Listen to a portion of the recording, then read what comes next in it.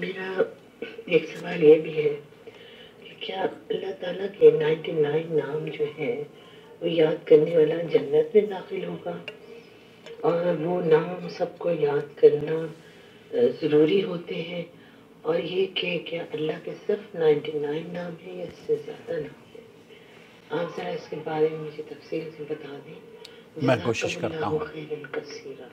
आमीन आमीन। आ, आप देख रहे हैं नू टी वी जद्दा और मैं हूँ आपका दोस्त आपका होस्ट मोहम्मद आकिल जद्दा से ममलकत सऊदी अरब।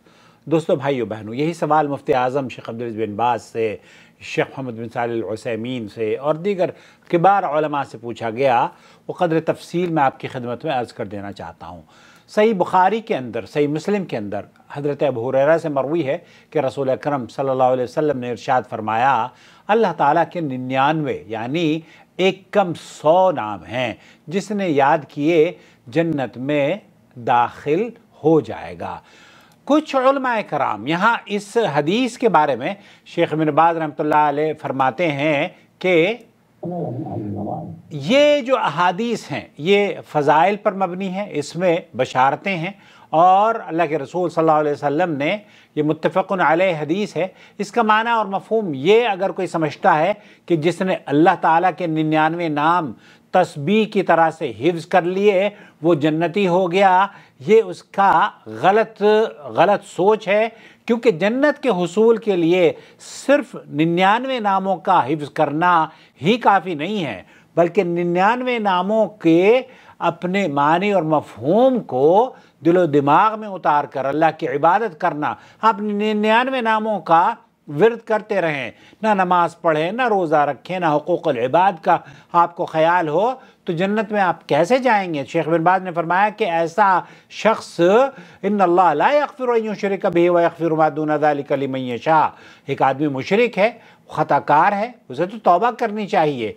अल्लाह के रसूल वसल्लम ने फरमाया है असलातुल नमाजें एक दूसरे एक असलातुलखम्स वलजुमा जुमा व रमज़ान रमज़ान कफ़ारत लमा बैन यहाँ ये जो रमज़ान और दूसरे रमज़ान के दरमियान कफ़ारा बन जाता है, ये अल्लाह के जो गुनाह हैं, अल्लाह से मुआफ़ी का उन्हें माफ़ करवाने का सबब बन जाता है। नमाजें, उम्र और उम्र और दूसरे उम्र के दरमियान जो गुनाह होते हैं, अल्लाह ताला उनको माफ़ कर देता है। लेकिन इसका ये मतलब नहीं है कि आप न नेकी करें और जो भी बुराई आप करते रहें, उसमें आप निन्यानवे नाम महफूज करके हिफ्स करके कहें कि जनाब, आप कुरान पूरा अगर हिफ्स कर लेंगे ना, और आपके अमाल जन्नतियों के नहीं होंगे तो फिर आप जन्नत के हकदार नहीं हैं। अल्लाह ताला मुझे और आपको जन्नत का हकदार बनाए और हमारी कोताहियों को अल्लाह रब्बुल माफ़ फरमा दे और जो भी टूटे फूटे कारनामे दावत के या लोगों को दीन की दावत की तरफ़ बुलाने के, कुरान सुन्नत से जुड़ने की काविशें हम, हमारा चैनल कर रहा है, या इसके सपोर्टर जो इसको चैनल को सपोर्ट करते हैं, अल्लाह रब्बुल हम सब के मवाजिन हसनात में इसे दर्ज फरमा ले। और आप भी अगर इस चैनल को सपोर्ट करना चाहते हो ज्वाइन मेंबरशिप के ज़रिए तो सपोर्ट कीजिए, ताकि आप भी इस जारिया का हिस्सा बन जाएँ। अच्छा यहाँ जो अल्लाह के रसूल वसल्लम ने फरमाया ना, कि एक आदमी जिसने निन्यानवे नाम सौ से एक कम निन्यानवे नाम हैं कुछ उलमा ने, जैसे इबन हज़म रहमत वगैरह ने, इस हदीस से ये इस्तलाल किया है कि अल्लाह ताला के निन्यानवे नाम हैं। लेकिन अक्सर अहल इल्म का मौक़ उसके बिल्कुल बरक्स है। इबन हज़म रहमत की बात से उन्होंने इतफ़ाक़ नहीं किया है।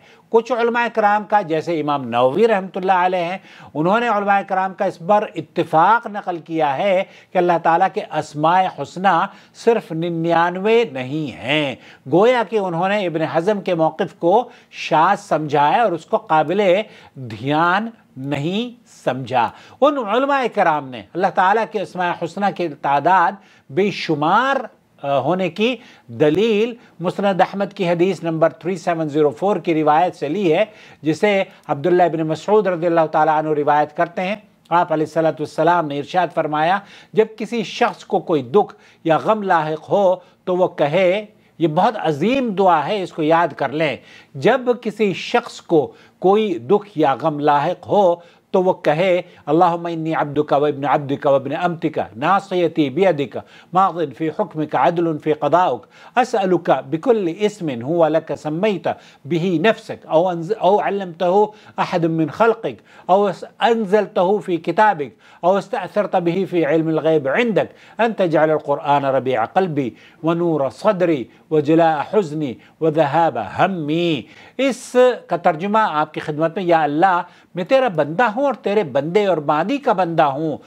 तेरे बांदी और बंदी का बेटा हूँ।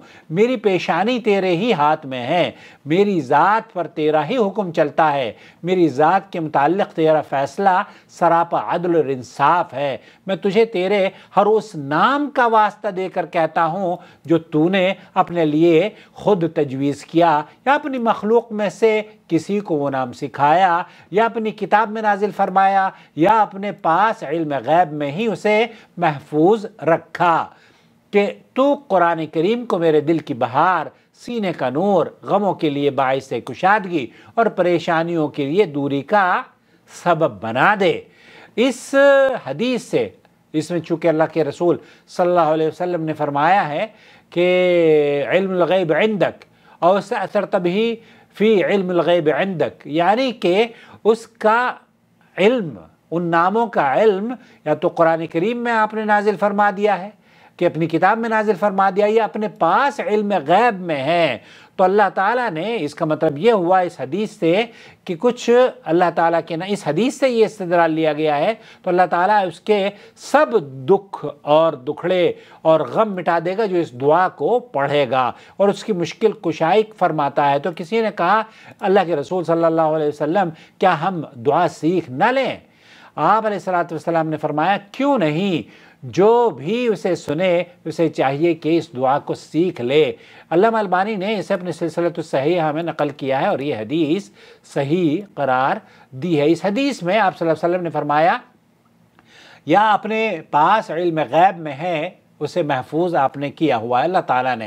ये इस बात की दलील है कि कुछ असमाय हसना ऐसे भी हैं जिन्हें अल्लाह ताला ने अपने पास इल्म गैब में महफूज रखा है। और अल्लाह ताला की मखलूक में से किसी को भी उनका इल्म नहीं। चुनानचे इससे मालूम हुआ कि असमाय हसना की तादाद सिर्फ़ निन्यानवे नहीं है, बल्कि उससे ज़्यादा है। शेख़ुल इस्लाम इबन तैमिया रहमत अपने फतावा मजमू अलफ़ावा में आ, कहते हैं कि हदीस के इस जुमले से साबित होता है कि असमाय हसना निन्यानवे से ज़्यादा हैं।